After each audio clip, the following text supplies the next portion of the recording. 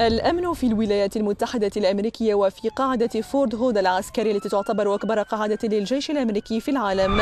يدق ناقوس الخطر بعدما أقدم جندي أمريكي على قتل ثلاثة عسكريين في تكساس قبل أن ينتحر بسلاحه. الرئيس الأمريكي باراك أوباما عبر عن حزنه عقب وقوع الحادثة في هذه القاعدة التي سبق وكانت مسرحا لحادثة مماثلة في العام 2009 ذهب ضحيتها 13 شخصا.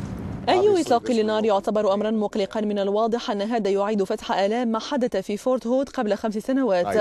لا نعرف حتى الآن ما الذي حدث هذه الليلة. ولكن من الواضح أن الشعور بالأمان تم كسره مرة أخرى. ونحن في طريقنا لمعرفة ما حدث بالضبط. الجندي استهدف منطقتين مختلفتين الأولى مخصصة للواء طبي والثانية لكتيبة نقل ما أدى كذلك إلى إصابة 16 شخصا جميعهم من العسكريين.